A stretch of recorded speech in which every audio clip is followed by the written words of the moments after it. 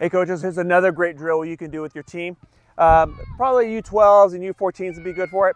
So I make a grid here, 15 by 30.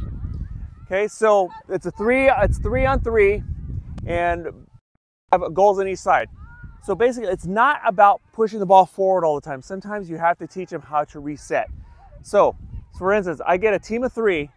They can do it. They can attack when the first team has the ball, they're going to attack with three players. The defending team, they're going to play with two defenders and a keeper. If the defenders get the ball, they're to reset by playing it back to the keeper. Then they can start. Then they can start attacking with three. Again, it teaches them how to reset the ball. You can add another element, so you have the players that aren't in the game. You can have them play on the outside as neutrals.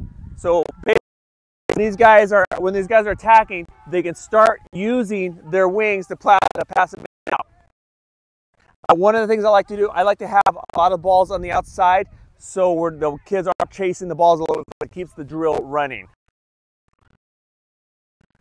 Again, it's it's very key when the when the team that's defending when they uh, when they're able to steal the ball, they have to reset. Okay, that's good.